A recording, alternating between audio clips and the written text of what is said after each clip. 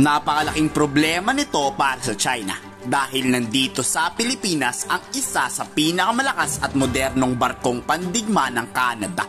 Pero bakit nandito ang Royal Canadian Navy? Ito ay para palakasin ang ugnayang militar ng Pilipinas at Canada. Magpipirmahan rin ang kasunduan sa permanenteng paglalagay ng barkong pandigma ng Canada sa ating bansa.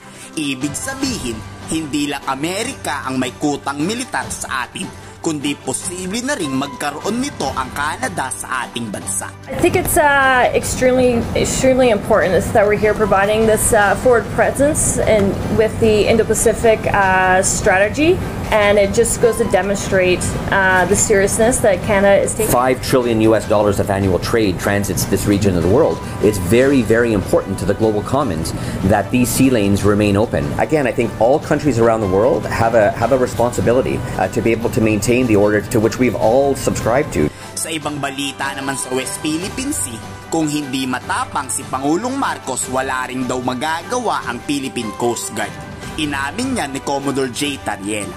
Paglilinaw ng PCG, may takot pa rin silang harapin ang malakas na puwersa ng mga Chinese. Pero dahil sa pagmamatigas ni Pangulong Marcos at walang takot kung magkaroon man o magdulot ito ng gulo laban sa China, talagang lalaban at lalaban daw tayo. Pero kahit wala ng floating barrier sa Baho di Masinloc, pinagbantaan muli ng Philippine Coast Guard ang Chinese Coast Guard na kahit ilang ulit o beses daw maglagay ang Chinese nito ay tatanggalin at tatanggalin lang yan ng Philippine Coast Guard.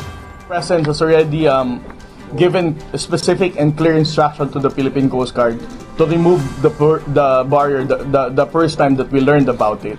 In the next coming months, if ever that barrier will once again be in place, the Philippine Coast Guard will uh, do whatever it takes for us to. Remove. I think for um, our national government, we do, uh, especially for the Philippine Coast Guard, we no longer um, need to um, wait for the instruction of the president because the mere fact that the instruction was already given then there's no reason for us to remove it every time that uh, floating barrier will be um, reported that uh, it was in place. Wala man sapat na kakayahan ang Pilipinas na kontrahin ang China, nanindigan pa rin silang ipaglalaban nila ang karapatan ng mga mangingisda sa West Philippine Sea.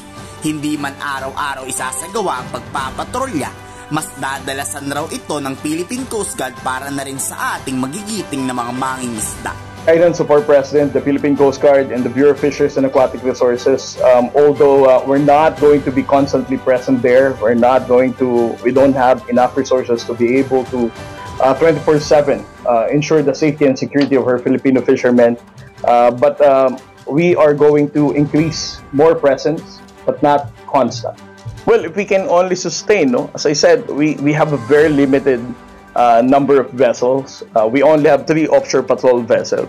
Uh, we have been relying to the 44 meter vessels of um, that came from Japan. Uh, if we have enough uh, Coast Guard vessels and uh, Philippine Navy vessels and even Bureau of Fisheries and Aquatic Resources, why not, di ba? Um, kung kaya naman talaga natin.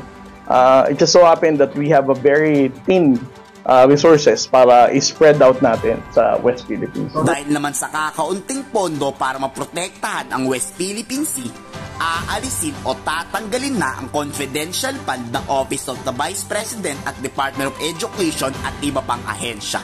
Tinatayang 700 million pesos o abot ng isang bilyong piso ang pondong mapupunta para sa seguridad ng West Philippine Sea.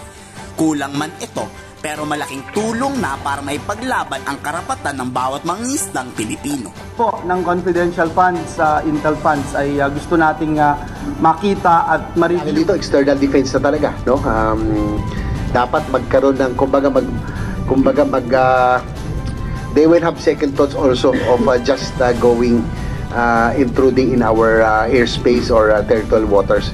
Definitely, Mr. Chair, we cannot match China in terms of might. They are a superpower, but at least put up that minimum respectable defense force.